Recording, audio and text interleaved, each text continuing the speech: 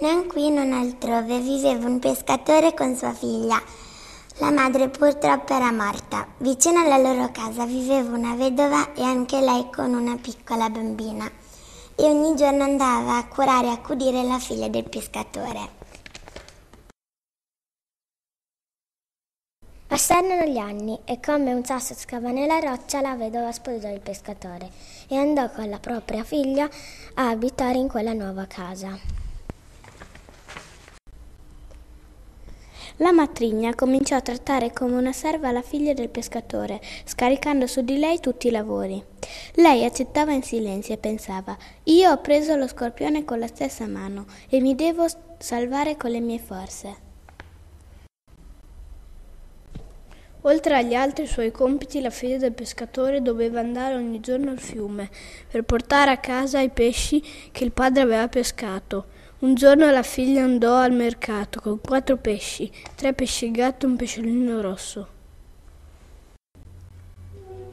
Il pesciolino rosso cominciò a parlare chiedendole di gettarlo nel fiume e che gliene sarebbe stato grato. Fanciulla, che tutto sopporti con pazienza infinita, ti prego, salvami la vita. Se di nuovo nell'acqua mi getterai, ora e sempre come mia figlia sarai.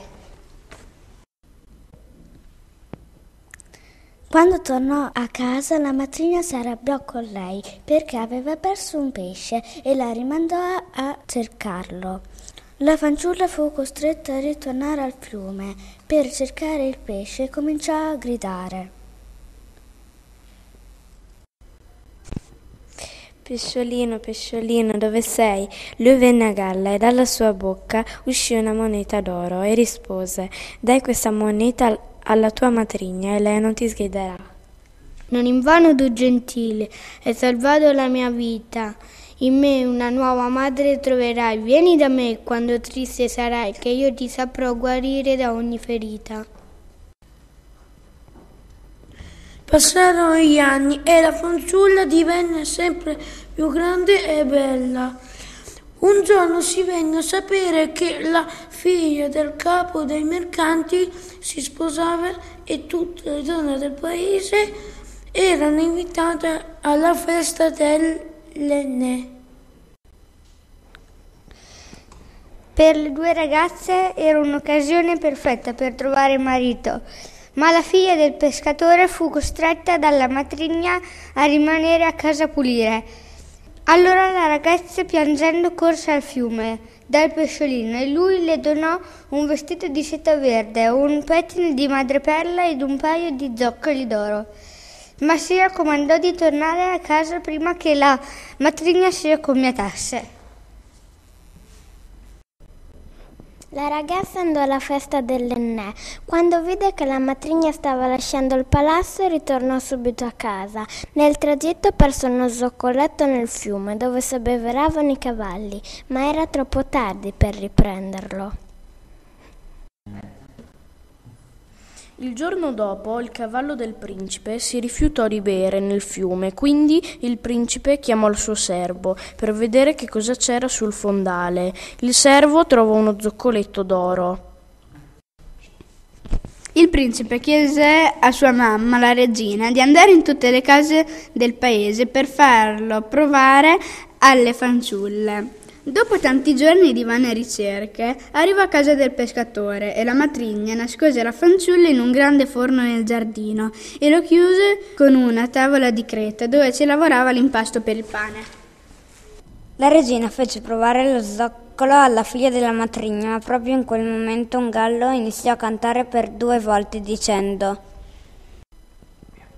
Chicchi cocò, fate sapere alla moglie del re che quella brutta la mettono in mostra e quella bella la tengo nascosta. Chicchi cocò, chicchi cocò, fate sapere alla moglie del re che quella brutta la mettono in mostra e quella bella la tengo nascosta. Chicchi cocò.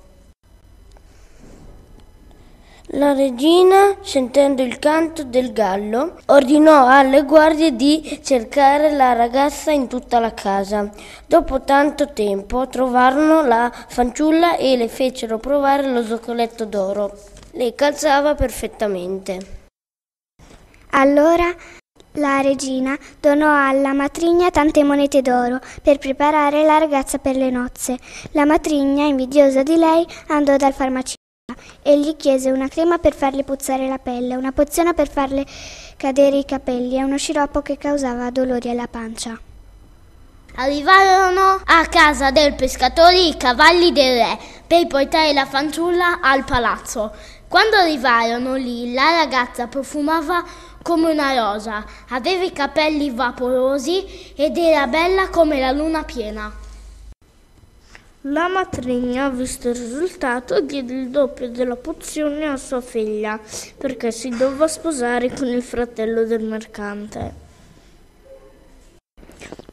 Ma quando arrivò il giorno delle nozze, il suo odore era nauseante e venne rimandata a casa.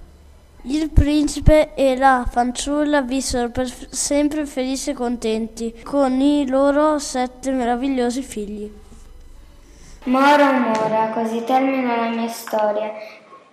Se la mia casa non fosse così lontana, vi porterei un gran cesto di fichi e uva nostrana